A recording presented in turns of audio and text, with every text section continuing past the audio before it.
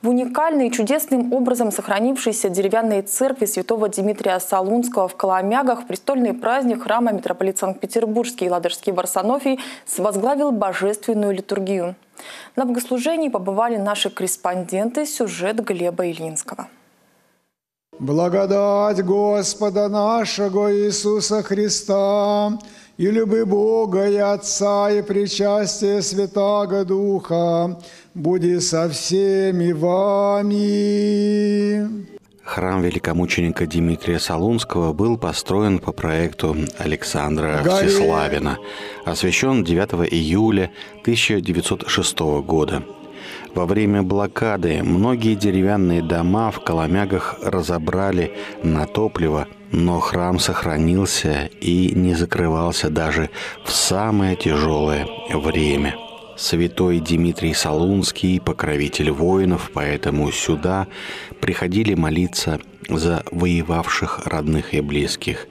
Один из редких в пределах Санкт-Петербурга уцелевших деревянных храмов дореволюционной постройки.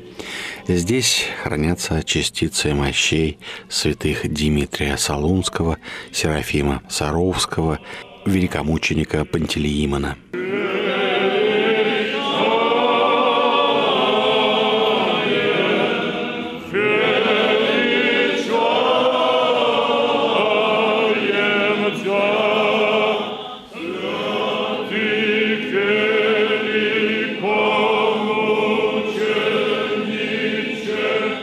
Обращаясь к прихожанам с проповедью, владыка Варсонофий призывал нас учиться вере у святых. И вот мы с вами, когда прославляем святых, конечно, должны учиться у них в первую очередь их вере, потому что вера двигает всем остальным. Вера и подвижников вводила в леса, в пустыне, и там они подвязались ради Христа. Верою сегодня мы с вами приходим в храме. Вот когда наши храмы пустые, это свидетельство о том, что у нас, наших граждан, нашего города, очень слаба вера или вообще ее нету. Потому что только вера подвигает нас проснуться и прийти в храм Божий. И вот если у нас с вами есть вера, это слава Богу. Надо только просить, чтобы Господь укрепил нас, эту веру. А веру укрепляет еще и молитвой. Вот она взаимно, это все время вера должна идти в ногу с молитвой. Потому что молитва, хотя происходит от веры, но если мы молимся, то Господь дает нам силы и укрепляет нашу веру.